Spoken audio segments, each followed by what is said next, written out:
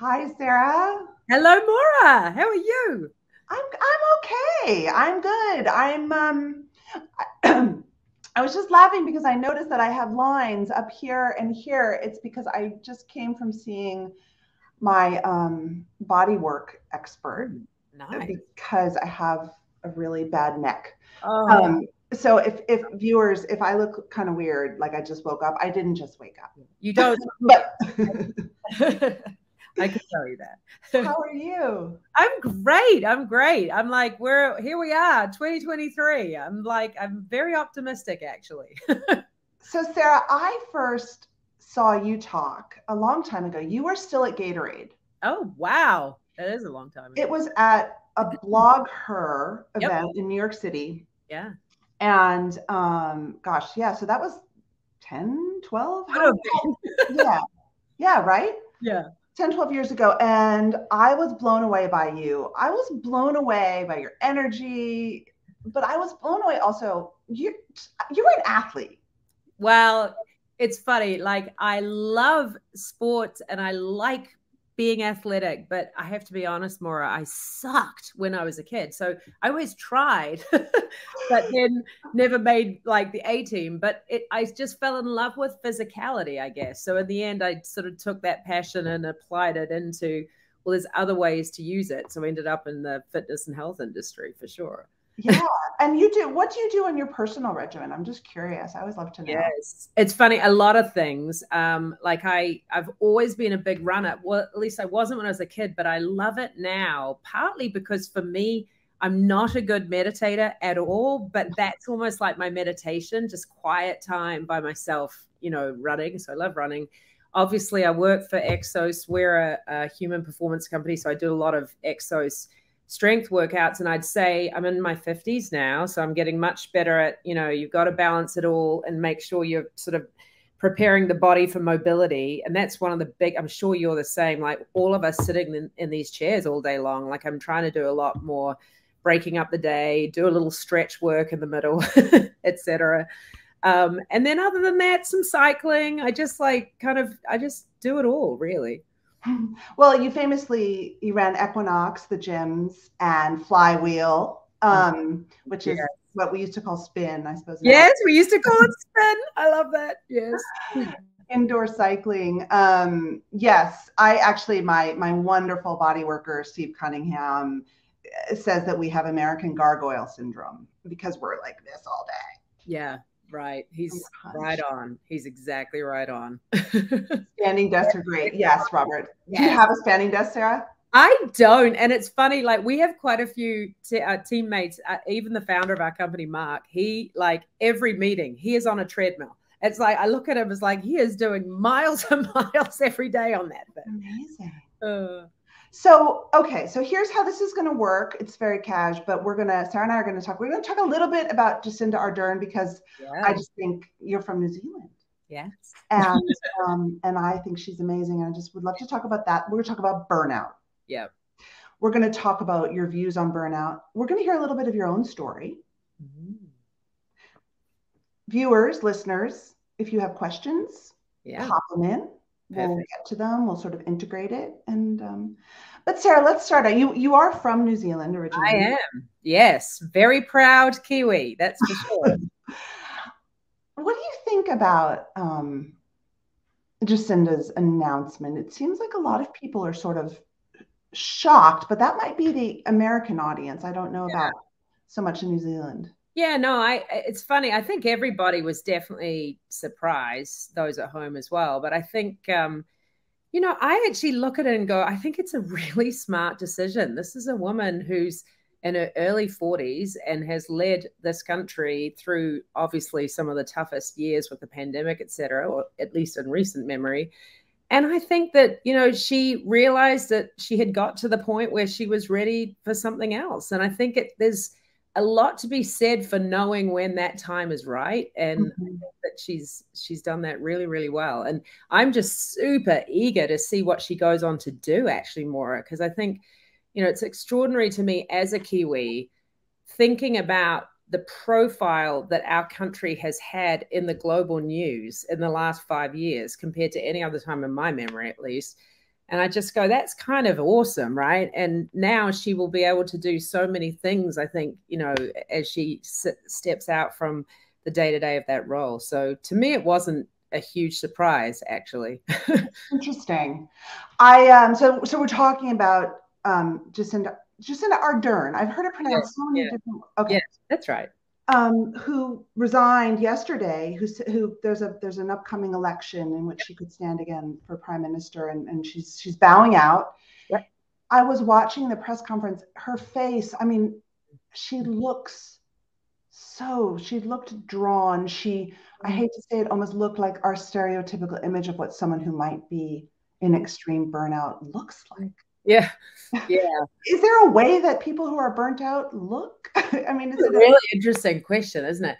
Because I, I think it's it burnout, you know, is one of those things that it creeps up on all of us in a way. Mm. and I think, you know, uh, over the last few years, any of us who have li- lived through high, high stress jobs in this stressful environment, I think to be human is to be burned out right now. And at the end of the day, it's like you you only have one life, right? So you've got to make priorities first for yourself and your family to to figure out what it you know what it takes for you to thrive. And so I don't know. I mean, I I have to believe she's exhausted. I feel like you know I have to believe, and so uh, so yes, you may be right. I don't know if there's a look of what burnout is, but I I have to believe after that just the number of things that have occurred back to back. It's been a long five and a half years. And I was reading, there's an article in the New York Times today that also said, I mean, she's been as much as you know, people like me think she's a rock star. Oh yeah. She has been the victim of a lot of really gendered, nasty uh, violence, um, yeah. online uh, bullying, you know, and I and, I would imagine, and and I think even just as a woman a woman leader, we couldn't kind of relate to that. That that's must take its toll. Yeah, no, for sure. And I, I, I mean, I think at the end of the day, first and foremost, she's a politician, and so mm-hmm. by definition, there should be and will always be large portions of the population that are not supporting her and her party's agenda, right? So that's one piece. Like that's part of being a politician then um, uh, and that is how it should be actually. But then you add to that, to your point, it, it's a she, she. I think she's probably, you know, was thrown into a, a, a global crucible that you know who's prepared for that at the age of 37 the way it happened and i think it's extraordinary the way she has led through it with incredible humility um, but listen, we we don't know what it's like to be in her shoes, and you're right to to hear some of the things that are that are put out there, especially in today's world of social media. I just think, you know, being a politician today, gosh, it's it's just extraordinary courage and strength for anyone to be out in that world every day where it's, it's a real problem actually. You know i'm a former political consultant and you know younger people women who may have the energy and the knowledge and the drive, yeah. they don't want to sign up yeah. for what is going to get spewed at them. They don't want to sign up for that. Why would they? I know. It's Why? Pipeline problem. It's such a huge problem, and it's directly connected to where we started this this whole burnout issue. Yeah. Because I do think, you know, we are. It's it's funny. I think of, of someone of my age. You know, when I was growing up as a teenager, like the biggest health crisis for teenagers would have been smoking, right? And it was like, okay, we figured that out. We eventually said that's kind of dumb. Let's stop smoking, and didn't become the issue that it was when we were kids. Today, like, who would have predicted that this massive mental health crisis on our global teenagers, children, etc., which leads to all of these um, these like levels of burnout and crisis and mental health that we're all dealing with now as adults. And you have to go back to the, what's the one thing that's changed since you and I were teenagers? Social media, horrible mm-hmm. things being spewed at you every day. So, on some level, it's like, okay, we got to figure out as a society how to evolve and correct for that. And I think, as you know, human performance uh, people, which is what my company is, we also have to prepare people how do they increase their own capacity to handle it give them the techniques to deal with what's coming at them every day, you know, because it's, I think a lot of people just almost like this came clobbering at them in a way that, you know, nobody was really prepared for. How do you, I'm getting a little back. Um, there we go. How do you define burnout at Exos? And and what do you physically? It sounds you said strength exercises. Yeah. When a new tell us about Exos, tell us what it does and and and how you're like literally working yeah to help people feel less burnt out because I think burnout's tricky, right? It's it's not really a clinical definition. Um, I think often depression yep. is mistaken. They call it burnout because that feels better. So talk to us about burnout and talk to us about what your how the applied approach to helping burnout. Yep, definitely. So our company Exos, we began our in our history actually training professional athletes. And the whole founding of the company was based on athletes this is 20 years ago, were getting like a sports psychologist and a nutritionist and a trainer, all telling them different things, trying to figure it out. And our founder, Mark, was like, what if you just put all of that under one roof and really just made it simple for the athlete to understand how all those things are interconnected? Fast forward to today, Morra. I don't know what you engage in, but think about the consumer landscape. You're using apps and workout programs and nutrition tracking and Oura rings and everything as consumers, we're completely overwhelmed with all of these things that we're trying to make sense of. And so, as Exos, what we do, the bulk of our business is actually in, um, you know, in corporate America. We represent uh, 30% of the Fortune 100. Wow. So we're helping executives like you and me make sense of all of that. Like, be the coach that gets you ready for what matters to you and helps you understand how all those things work together. Because I think interestingly enough, we started being known for the physical aspect of fitness and wellness, but we are equally involved with the psychology aspect of phys- phys- of of wellness and performance. And we believe you have to have your biology and your psychology working together for you mm. help you deal with today's modern stresses. And here's the last thing I will say because it's interesting. Prior to the pandemic, executives who came to work with Exos coaches were predominantly walking in the door going, I want to be fit, stronger, you know, physical attributes. Today, the majority walk in the door saying, I, I am having mental health stresses. I want help with that.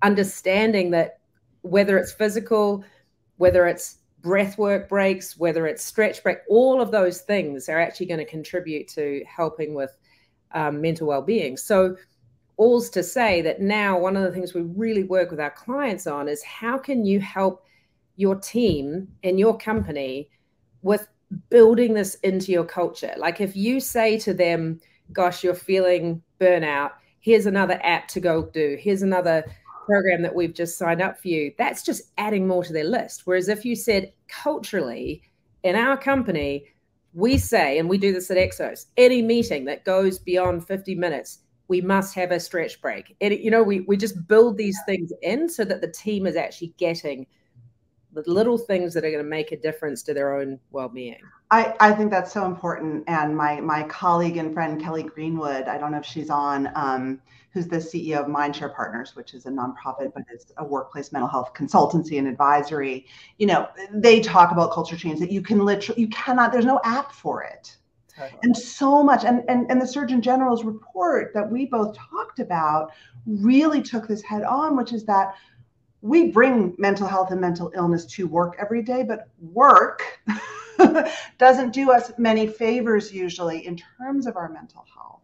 100%. And add in what we're doing right now. I think one of the things we passionately believe at Exos is humans are meant to, we're social beings. We're meant to have connection. And this feeling of being in our little square and being isolated, I think has really contributed to those feelings of mental stress. Like if you can go and I, I'm sure, you know, you're the same. We're all finally getting back into workplaces where you can just have those sort of quiet, unrelated conversations as a human that you don't get to on Zoom. You know, it's like, how's your day today, Morra? Like, how what what did you bring into the office with you? You don't do that on Zoom, whereas I think you're more likely to over a sandwich. You know? Yeah. Hi, Alyssa. Uh, I, Alyssa actually interviewed me for her podcast a couple weeks ago. She's oh, hi, Alyssa. Coach. Um, what matters to you? Such an important first step to moving forward. Yes. Really good. So, okay, so you had you had a bit of a career. I don't even know what to call it. You had incredible leadership jobs. Mm-hmm. You took a forced sabbatical, mm-hmm. I believe. Mm-hmm. Um, was was what matters to me a question? Well, tell us that story, and then yeah. talk about how you centered what matters to me in your sort of comeback, because clearly you're at your you're at your apex. It seems. That's a great question. Well, I uh, I um, am very open, and you can actually look on my LinkedIn profile for any who wants to. Um, about building what I call an anti resume. So we all list our accomplishments. If you look at my resume, I've actually listed all of the times I epically screwed up, including getting fired twice in my 20s. um, and then, you know, I have definitely had amazing leadership experiences. You mentioned Gatorade, that was a wonderful, tough journey of leading a big global turnaround. And then other ones, Flywheel. I was leading that as my first CEO job. That company doesn't even exist anymore. I mean, really? you know, well, since the pandemic, since many yeah. things. And so it's like, I have, I really do believe in the, when you think about life in general, tough times, failure, adversity is an, is an inevitable part of life. And I believe it's an essential part of growth and happiness, like working through those moments to help you get to the next level, help you get more perspective, help you narrow in on what is more important to you, to Alyssa's question, like what is the most important stuff. And certainly for me, when I uh, joined Exos, which I joined, by the way, February the 1st, 2020, oh my. I run 400 gyms around the world. Like it was like, woo, let's go. You know, it's like I can pick them. But by then I was so crystal clear in my mind. What matters to me is the people I get to work with, period, end of sentence. And the mission of the business and this was what i wanted and and i think therefore going into a pandemic running a bricks and mortar gym, gym company could be considered really like a bad decision i've loved it it's been the hardest hardest three years i could possibly describe for our whole team but we're doing great work and we're doing it together and we're doing it as a team and that is what matters to me. So i think it is important to go through those ups and downs to help you sort of hone in on what really is the most important to you. What's the I'm in. what's the failure that still sometimes hits you and triggers you? Oh good question. Good. I know. I mean there's so many. So one oh my goodness. I mean, it's funny. I would say maybe as you get older, none of them really hurt so much you, you have a fondness for those failures because you see where they took you, you know? Um, I mean, I, I would definitely say when I uh, when I was let go in my late twenties from what was then Virgin Megastores. Do you remember when we used to buy music on a thing that went in a circle from a a? I lived lived in on, on, Union Square in New York yes! City. Yes. One Union Square South. Yes. I lived above, below, yeah. above. Yes. Giant Virgin Megastore. Huge. That was like literally. I think that was our second most profitable store in the entire portfolio. But it was also a time when Napster came along. The whole industry was in massive disruption and I was like, honestly, cocky, arrogant, like just full of my own ideas and not really willing to listen to the crisis that the business was in to help sort of support what needed to be done. And I ended up getting fired. And it was like, when you say what, it, I don't think it triggers me at all, but I still can completely feel the embarrassing feeling of walking out of the office with your box of stuff and everyone's behind their little cubes looking up and there was only one person that got let go which was me. It wasn't like you know right. or anything. So i definitely i still feel all of those emotions if i think about it but those are also emotions that had led to enormous amount of learning. And so that's ah. a good thing you know? I don't feel i don't feel sad about it at all I, and i also think with big failures usually when you dig deep enough and you figure out what you personally could have done different, and sometimes there's a ton of circumstances that led to it, but there's always something that you could have done differently. It's very empowering, you know. Then you go, okay, I now know what I would do differently next time. That's super empowering. Yeah. I think I think so. I think if you can learn if you can learn from it and integrate it going forward, right, rather than repeating it.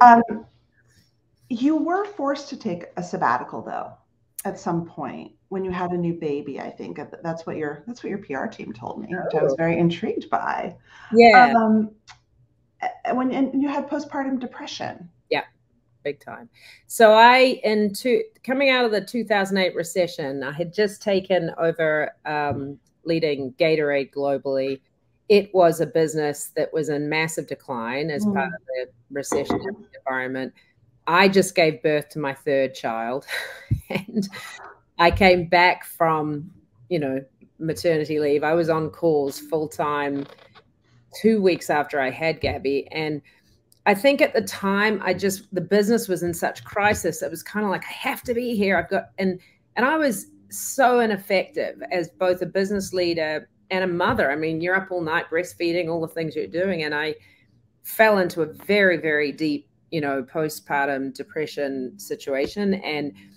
I remember at some point it was actually my husband who was like, enough, like we've got to get you out of here. And we we went on a trip for about four or five weeks to New Zealand and just, you know, finally fresh perspective really helped me kind of get my head back in the game. And I think the biggest learning I have had from that, Morra, and I think about it so much and I take it back to Exos, like what we do as a company is provide all this support for, you know, whether it's professional athletes, military.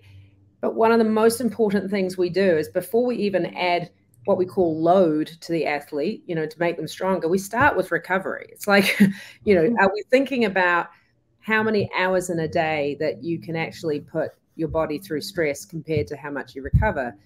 it's such a basic concept and it's so as in when you think about it in athletic terms you go well of course no of course. would physically work out for 12 hours a day yet as executives why do we think that we can just go go go go go go go and not prioritize recovery. And that was what happened to me. Like literally wheels fell off my bus from exhaustion. And so now i'm very passionate about the topic of helping others kind of see if you do all the upfront work to make sure you've got your own recovery plan and you have a culture that supports that, then you've got a much better chance that when you're adding what we call load, whether that's intellectual load, hard work, like thinking work, meeting time, then you're going to be able to really, really perform in those moments and not be so drained by those moments, you know?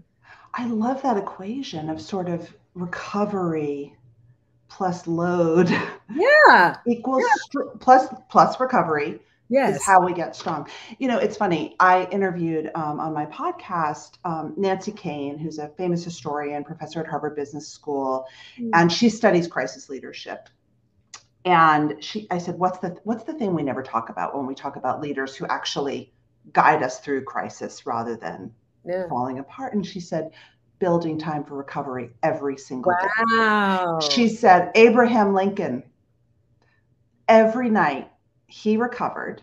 He liked to just shoot the shit with his friends. That's what he liked to do. Nothing wrong with that, by the way. Nothing. Yes.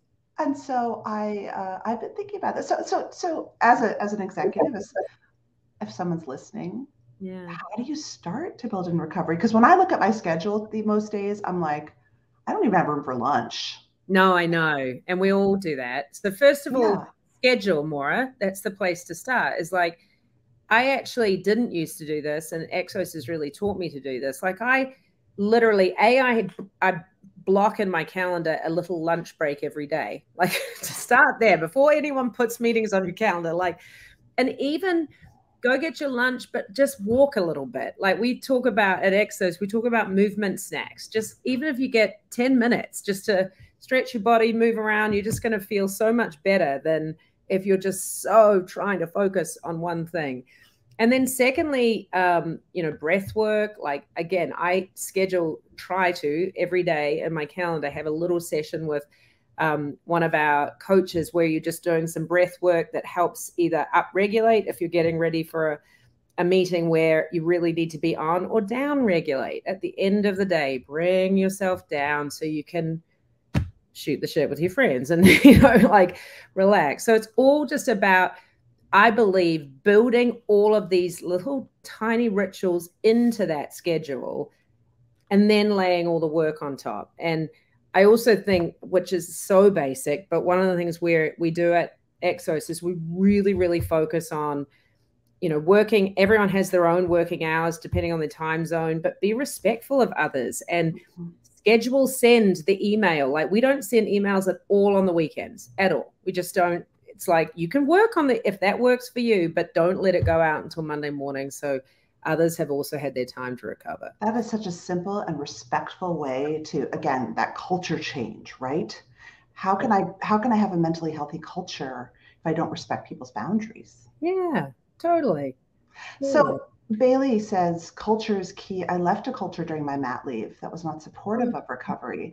Not everyone has the power to make their own schedule to do breath work in the middle of the day. Like what uh, Bailey, I'm so sorry. Yeah. Um, please, please, feel free to say more if you want to. But yeah. Sarah, what do people who, you know, aren't the boss do? And Bailey, having the culture to leave, that's really important. You know, I think you have to, I do think you have to sort of set your own boundaries. That's exactly the right word. But if it's not something that can be respected by your boss, the culture, I think you you definitely have decisions to make. And I think I think that's important. I also do think I would say, and I think it's important coming from a CEO, you do still have to get your output and your contribution to the team done, right? And so I think it's about talking with your boss about this is important to me for my recovery practices. But you can expect that I'm going to get my pieces of work done in all these different places that work for me. I'm going to get it done. And you can rely on me to get it done you know and i i think as long as it's that sort of two-way um, agreement then there shouldn't be an issue and if there is then bailey you you've obviously had the courage to make big decisions and that's what we all probably need to do yeah i mean I, so i'm getting feedback again um, without communication it's hard to build in any of this stuff yeah Totally. Communication really comes first. Yeah. And if you're in an environment where you cannot communicate and you are not heard. Yeah. Yeah. Exactly. That's that's not it's not going to be it's not going to be working. so my last question for you is sabbaticals are a big topic these days. Mm. Ment- mental health days are a big topic. Although I one day I'm not a big believer in one day. I don't think much happens. Sometimes you need to have a, a duvet day and just watch yeah. Netflix and cry. Duvet Day, that's great. What's your advice for someone who wants to ask for more than a week off? Yeah.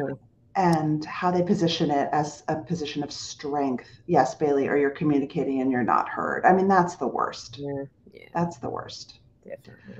Um, speaking of communication so yeah you, you think god i, I really I, i'm done I, I cannot function one of the key symptoms of burnout is inefficacy not being effective yeah. sitting at your computer and not being able to do the work yeah. how do you ask from a position of strength i think it's really interesting i think you make the case using exactly those examples and just say i I know enough to know that I'm sitting at my computer staring and I'm just unable to be productive.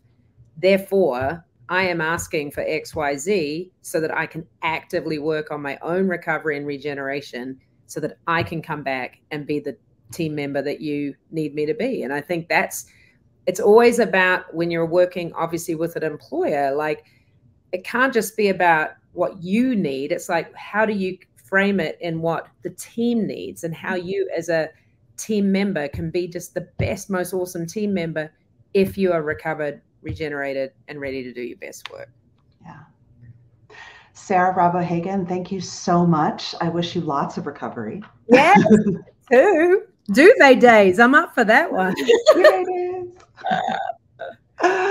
Thank you so much. Be well. Thank you, everyone. Feel free to leave comments on the page and we'll get back to you. Thanks. Thank you. Bye. Bye. Bye.